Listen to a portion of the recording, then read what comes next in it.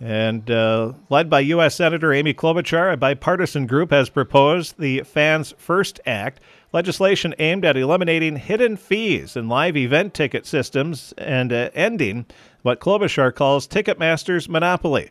The proposed bill is the next chapter in a growing battle between Washington and ticketing services. In November, the U.S. Justice Department launched an investigation into Live Nation for what they call anti competitive practices. In October, President Joe Biden and FTC Chair Lina Khan uh, proposed an outright ban on hidden fees across all industries. President Biden also blasted the groups during his State of the Union address in February.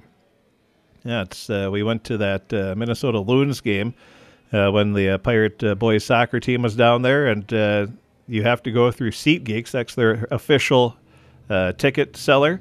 And uh, oh, by the way, you're paying a $17 service fee uh, on top of that, so it's getting to be uh, ridiculous.